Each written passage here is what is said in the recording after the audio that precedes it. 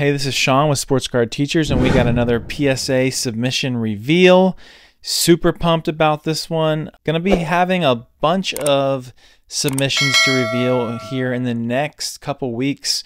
Just been going hard on getting some cards graded, taking advantage of the PSA offer here in January. So you're going to get a lot of videos. So hopefully you like that. As you'll see with this batch, there's a lot of the same card because I bought a bunch of one card, um, a similar card. And so you're going to see a lot of that, but so there's not a whole lot of variety in this PSA submission, but we did pretty well. I don't know the exact numbers, but I'll hopefully tally that up at the end of the video. So Let's get right into it. First, Jordan Love Dynagon. Jordan Love is playing great. Playoffs this weekend. Let's see what we did. Gem Mint 10 on the Dynagon rookie. Love that card. Not the silver, but this one goes for decent money, especially right now. He is hot. So, super happy about that. We'll put that in the 10 pile for right now. Next card. Now we're going to see a lot of this card. All right. So this is the Juan Soto 2023 Topps Now off season. So this is the first card that he is in a Yankees uniform. Obviously, he got traded from San Diego to the New York Yankees. This is the first card that Topps released of him in his new uniform. So I bought a bunch of these. Actually, I only I bought about 20 of these.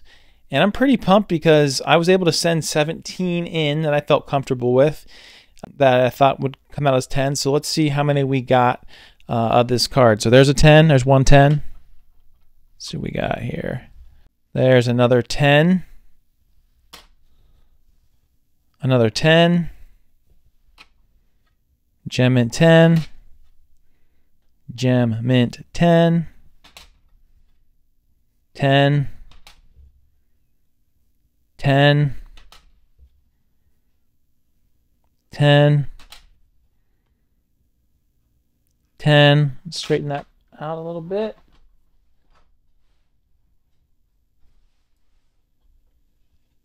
Ten, ten, ten, ten, ten, nine. Took a nine on this one. Just trying to see here what I might have missed on it.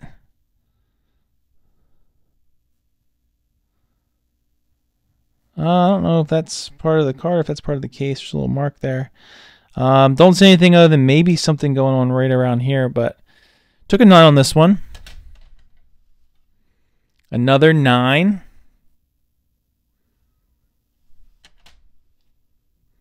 A third 9. That's all of them. So I think I sent in 17. I went 14 of 17 on 10s for this card. So pretty pleased by that.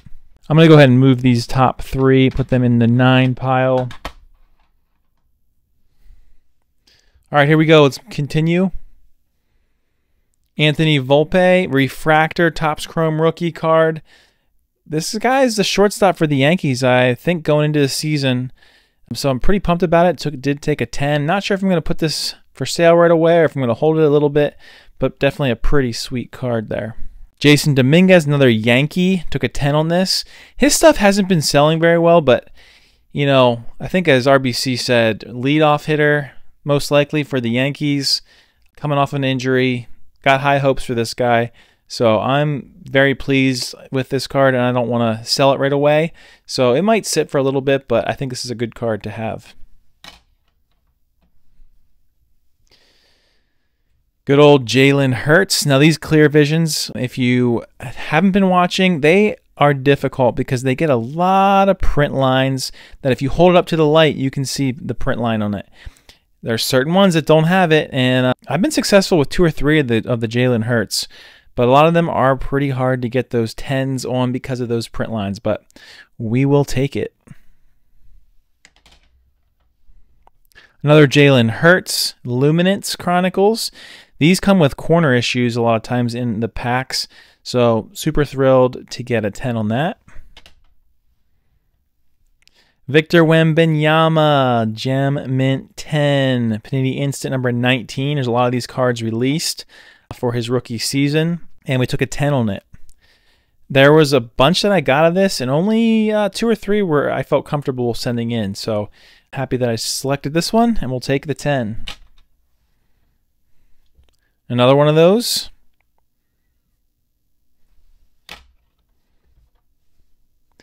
All right, so these Chronicles, this is the pink.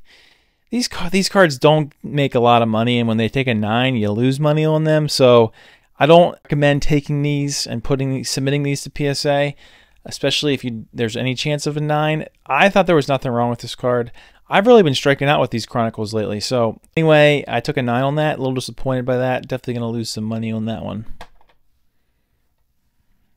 Once again, nine on this Jefferson rookie. Not sure what the issue is. I mean, I think they're pretty well centered. I don't know. Must be missing something on the surface. Another Jefferson 9. Who knows, but it is what it is. All right, let's get off that streak. I don't like too many nines there in a row. Oh, another nine. Took a nine on this, and I have a bunch of this card that I got. I bought a big lot on eBay, and uh, kind of went through them all. And there were some issues with some of the cards, but I did find a couple, um, so I'm pretty happy with, as you'll see here in a second. But took a nine on this. This is a really cool card. We got a 10 here on this rated rookie from Justin Jefferson. 10 again on the same card. 10 again, same card. 10 again on the same card. And I realize I'm putting these in the wrong pile. We don't put those in the gem piles. Put those, move those a little bit. Don't want to get those mixed up. All right, down to the last two cards of the 34 that I submitted. We took a 10. This is another one of those Panini Chronicles cards that is difficult. The Luminance and this the Chronicles Panini, they are sometimes hard because of the corners, and uh, we did well with this one, so we'll take that 10. And last but not least, we got a Burrow Prizm Black. Took a 9 on this. This is a card that RBC and I are pretty successful with when we grade this card. I still haven't figured out what the problem was. This was pack pooled. I think the biggest thing was the centering. Okay, I thought there might have been a, it might have given me a little bit of uh, leeway on the centering, but as you can see, it is a little thinner over here than it is over here. So that must have been the problem. The reason I sent it in was because, I mean, corners were great, centering in the back, uh, so it must have just been the centering on the front. So sometimes I don't think they take into account centering quite as much as they do for surface issues or edges, but uh, in this case, definitely definitely do take that into account. So if you look here, pretty nice stack of 10s. Pretty happy with it. Stack of 9s. Not too many. Nothing else other than that. Always a good submission when there's only 10s and 9s that we end up getting back. Hopefully you're getting a lot of 10s like this. And uh, I think we're at we were at 26 of 34. So I don't know what percentage that is. Maybe 75% ish. Um, so can't you know can't complain about that. Uh, love to be 75% or higher, but you can't always do it, I know. But super happy about that. Thank you so much for watching. Uh, I will be posting these on my eBay, so if you are interested, they'll be there. You can also email me. If you email me and you're interested in something, I can always um, can always make a deal because I'm not paying eBay fee. So if there is something that you're interested in, go ahead and email me and at the at gmail.com. I'll do my best to get back to you. So Thank you so much for watching, and we'll see you in the next video.